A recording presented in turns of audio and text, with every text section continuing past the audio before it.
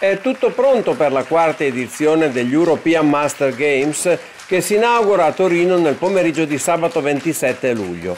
I numeri illustrati dal comitato organizzatore nell'ultima conferenza stampa prima della cerimonia inaugurale parlano chiaro. Le 7.500 iscrizioni di atleti provenienti da tutto il mondo, visto che i giochi sono open, sono un record mai raggiunto nelle precedenti edizioni. Se si considerano anche gli allenatori, le riserve, lo staff tecnico e altre figure indispensabili alla disputa delle gare, sotto la mole sono attese oltre 11.000 persone. Il fischio d'inizio è fissato per venerdì 26 luglio con le prime gare di calcio, calcio a 5, ciclismo, judo e tiro al piattello, con l'avvio del campionato europeo di handball. Fra gli iscritti una prevalenza della rappresentanza maschile con circa 5.500 atleti e 2.000 donne. Fra gli sport più praticati naturalmente l'atletica, il nuoto, la pallamano, la pallavolo. La rappresentativa più numerosa è quella italiana con oltre 2.000 atleti. Seguono la Germania e la Russia, ma sono nutrite anche le rappresentative degli altri paesi europei più importanti. Centinaia di volontari sono coinvolti Elena e Michele sono solo due dei circa 300 volontari degli European Master Games.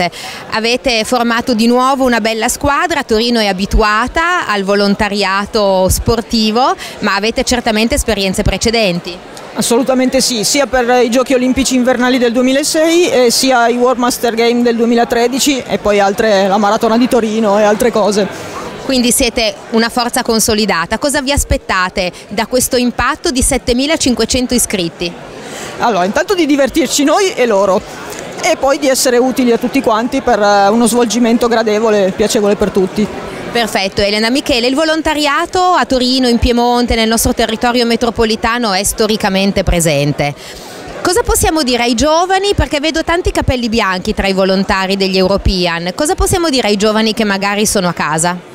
Bisogna stimolarli nell'aggregazione, quindi nel eh, riuscire a comunicare con, eh, con tutti, con il prossimo, indipendentemente dall'età.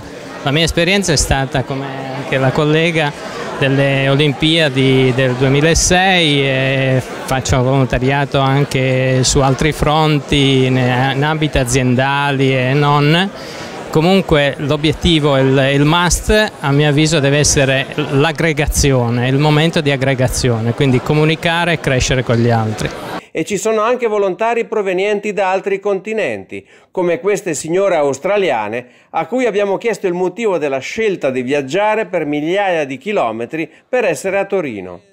We were thinking of coming to Italy for a holiday. Avevamo intenzione di venire in Italia per una vacanza. Abbiamo partecipato a gare dei Masters a Sydney e in Nuova Zelanda.